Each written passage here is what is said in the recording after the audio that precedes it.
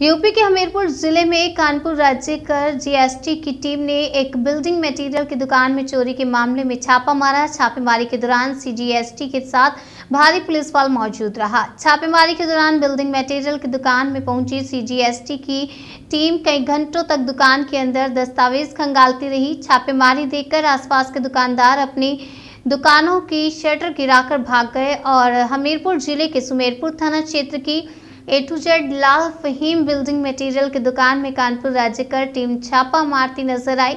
छापेमारी के दौरान सीजीएसटी की टीम दुकान में घंटों दस्तावेज़ खंगालती रही और सीजीएसटी की टीम ने दुकानों से मिले अभिलेखों को जब्त कर लिया है और अचानक हुई सीजीएसटी की टीम की छापेमारी से बाज़ार के दुकानदारों में हड़कम मच गया। निर्देश के अनुसार इसमें मुझे कार्रवाई करने का निर्देश दिया गया था। मैं अपनी टीम के साथ यहाँ पर आया और जाँच सर्वेक्षण किया। अब अपनी रिपोर्ट मैं उन्हें प्रस्तुत कर दूँगा बस मुझे यही आपकी जाँच में क्या गड़बड़ियाँ पाएगी अभी कुछ ये आय व्यय का ब्यौरा है? अभी ये कुछ भी नहीं बताया जा सकता बिना परीक्षण नहीं अभिलेख और ये हार्ड डिस्क वगैरह क्या लेके ये गए? अभिलेख हमने जब्त किया है जो बाधा दे दिया जाए